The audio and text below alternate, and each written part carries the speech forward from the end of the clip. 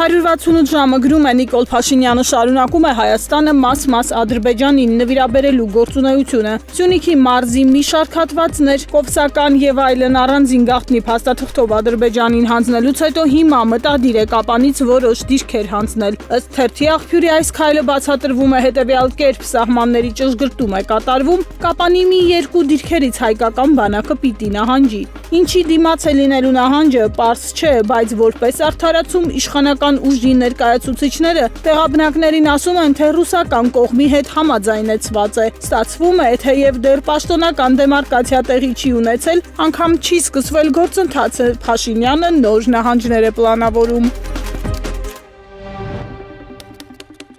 Ժողովուրդը գրում է իշխող ԿՊ խմբակցության падգամավորների նախաձեռնությամբ ԱԺ-ում 44-օրյա պատերազմի հանգամանքներն ուսումնասիրող քննիչ հանձնաժողով է ստեղծվել իշխանությունը պատերազմի հանգամանքները միայնակ առանց ընդդիմության կքննարկի։ Խորհրդարանական Հայաստան ու պատիվ ունեմ խմբակցությունները չեն մասնակցի հանձնաժողովի աշխատանքներին, չլեգիտիմացնելու դրա ավարտից հետո հրապարակվող զեկույցը կամ գնահատականները։ ԱԺ մարդու իրավունքների պաշտպանության ու հանրային հարցերի մշտական հանձնաժողովի նախ նախագահ Թագուհի Թովմասյանը նշել է, որ առաջին անգամ է, երբ խորհրդարանական այս կամ այն աշխատանքը բոյկոտելը արդարացված է, իսկ պատերազմի հանգամանքներն ուսումնասիրող հանձնաժողովի աշխատանքներին չմասնակցելը ըստ Թովմասյանի առավել քան པարզ է ու տրամաբանական հանցագործության մասին վարկածը չի կարող քննել ենթադրյալ հանցագործը։ Իշխանությունը 44 օրյա պատերազմի հանգամանքները չի կարող քննության առարկա դարձնել քննել արդյոք ճիշտ է եղել այս կամ այն քայլը իրականացնելիս։ Այս հանձնաժողովը ստեղծելով իշխանությունը կամ պարզապես գոլորշի է բաց թողնում, պատերազմի հանգամանքների մասին ոչ ոք իրականությունն այդպես էլ չի իմանալու կամ հանձնաժողովի աշխատանքների ավարտից հետո պատերազմի պարտության մեղավորներ են կարգելու ու այդ մեղավորները լինելու են հիմնականում բանակից հեռացած սպաները, այդ թվում գլխավոր շտաբի նախկին պետ Օնիկ Գասպարյանը։ Այսինքն հանձնաժողովը միայն մեկ նպատակ ունի արդարացնել պատերազմի պարտությունն ու իշխանություններին, շեշտել է падգամավոր։ Episode Հրապարակը գրում է ԱԺ Հայաստան խմբակցությունը իրեմս Անդրանիկ Թևանյանի հայտարարության նախագիծ է շրջանառության մեջ դրել, որով առաջարկում է դատապարտել Ադրբեջանի ու Թուրքիայի ընդունած Շուշիի հրճակագիրը։ Սա թուրք-ադրբեջանական ռազմաքաղաքական դաշինք է մեկ ազգ երկու պետություն կոնցեպտի շրջանակում Ղարաբաղը ճանաչվում է Ադրբեջանի մաս եւ պահանջ է դրվում, որ հայոց ցեղասպանության հարցը դուրս գա արտաքին օրակարգից ու դառնա պատմաբանների քննարկման թեմա։ Հրճակագրում տեղ գտած Զանգեզուրի միջանցքի վերաբերյալ ձևակերպումները վկայում են, որ Թուրքիան ու Ադրբեջանը ձեռք են բերում հրապարակային պայմանավորվածություններ համատեղ ցավալապաշտական ծրագրեր իրականացնելու համար։ Ասվում է նախագծում եւ նշվում, որ այն հակասում է 2020 թվականի նոյեմբերի 9-ի հայտարարությանը, որով կողմերը պարտավորվել են թույլաtsնել լարվածությունն ու կոմունիկացիաները գործարկել։ Ուշագրավ է, որ հրճակագիրը վավերացվել է հայ-թուրքական իբրև թե առանց նախապայմանների խաղաղության դարաշրջանի մեկնարկից հետո։ Ընդդիմադիրները կարծում են Երևանի լռությունը համաձայնության նշան է, իսկ հայտարարությունը մեսիջ կլինի հայությանը, որ Հայաստանը կարմիր գծերից չի նահանջելու։ Նախագիծը ԿՊ-ին բարդ երկընտրանքի առաջ է կանգնեցնելու, ինչպես ջրել այս նուրբ թեման, որ դավաճանության մեջ չմեղադրվեն, իսկ հարևաններին էլ սիրաշահեն։ Ըստ ամենայնի սահմանազատման հետ կապված նախագծի փորձը կկրկնեն, որը չընդունվեց օրակարգ, քանի որ պարունակում էր ճակերտավոր ընդդիմադիր լեքսիկոն անվստահություն Հայաստանի լեգիտիմ իշխանությունների համար, նկատում է հրապարակը։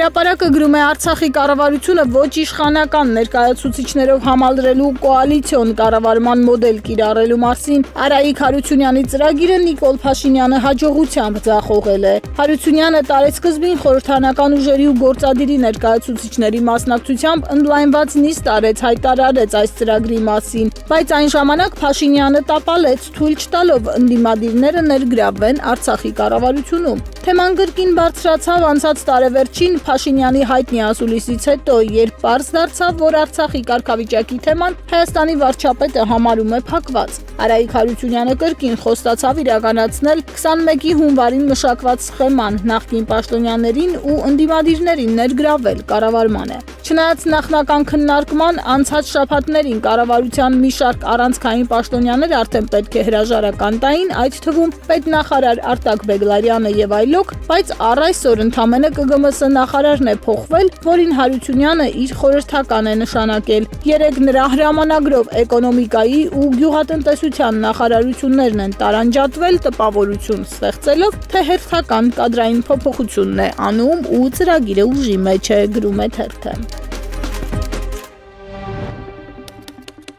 Ժողովուրդը գրում է, որ ազգային ժողովը 2021 թվականի հունվարի 19-ին առաջին ընթերցմամբ ընդունեց հակակոռուպցիոն երկու առանցքային նախագիծ՝ հակակոռուպցիոն կոմիտեի մասին օրենքի, կոռուպցիոն կոմիտե եւ հակակոռուպցիոն դատարաններ ստեղծելու մասին օրենսդրական փաթեթները։ Դրանք ներկայացրել էր կառավարությունը 19 թվականին ընդունված ռազմավարության շրջանակում։ Թերթը նշում է, որ նոր ստեղծվելիք դատարան աշխատանքի անցնելու համար դիմել են հայտնի գործեր քննած դատավորներ։ Աղմ կահարույց գործեր քննած դատավոր Տաթևիկ Գրիգորյանը, Սյունիքի մարզի ընդհանուր իրավասության դատարանի դատավոր Գնել Գասպարյանը, որը իշխանությունների սրտի դատավորն է եւ եղել է նախկին դատախազ, բայց ուշագրավն այն է, որ նոր ստեղծվելիք դատարանում ցանկություն է հայտնել լինել դեռ ավելին ցուցակում ընդգրկված է եղել օրերս կալանավորված Բորիս Բախշյանը, սակայն շփաթը ուրփաթից շուտ է եկել դատավորը չի կանխատեսել, որ իրեն կկալանավորեն։ Կալանավորելուց հետո նրա անուն ազգան անունը հանել են նոր ստեղծվելիք դատարանում աշխատելու ցանկացող դատավորների ցուցակից։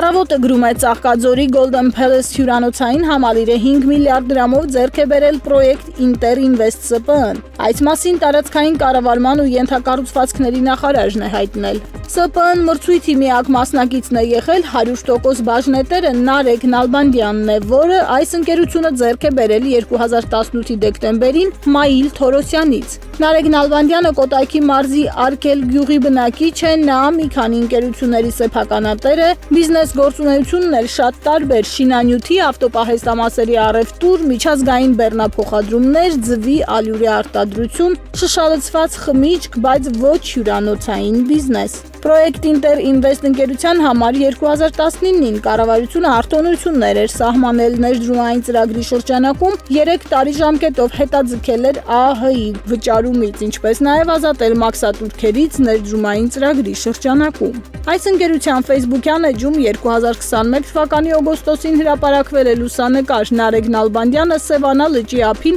շրջակա միջավայրի այն ժամանակվա նախարար Ռոմանոս Պետրոսյանի հետ։ Նախարարության այդ օրվա հաղորդ Խորհրդագրության մեջ հիշատակվում են Սևանա լճի հանրային լողափում կատարված աշխատանքները, նշվում, որ ընկերության աշխատանքներից տպավորված է նախարարը, բայց չի նշվել, թե որ ընկերության։ 34-ամյա Նարեկ Նալբանդյանը Ման Հոլդինգի 100% բաժնետերն է ընկերության նկատմամբ անցած տարի հարկային պարտավորությունները չկատարելու համար ՊԿ համապատասխան վարույթ էր հարուցել եւ որոշում էր կայացրել նրանից գումար գանձել։ Այս ընկերությունը զբաղվում է սեփական կամ վարձակալած անշարժ գույքի հանձնում վարձակալությամբ եւ այլ գործառույթներով։ Մանրամասնում է առավոտը։